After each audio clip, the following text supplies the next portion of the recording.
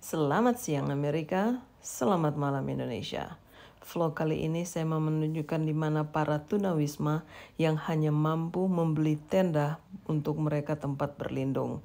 Sebenarnya pemerintah Amerika tuh menyediakan tempat penampungan bagi mereka yang tidak memiliki rumah dan persyaratannya mereka harus keluar dari tempat penampungan itu pagi hari dan kembali lagi pada malam hari.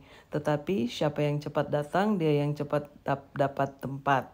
Karena tempat penampungan itu terbatas. Jadi tidak semua homeless itu yang tidak memiliki rumah bisa tampung di tempat itu. Jadi kalau sudah tidak kebagian tempat, terpaksa mereka mendirikan kemah di mana aja yang mereka bisa dirikan dan bisa dibayangkan mendirikan tenda di atas salju yang dingin. Sekian dulu vlog kali ini. I'll see you next vlog. Ciao.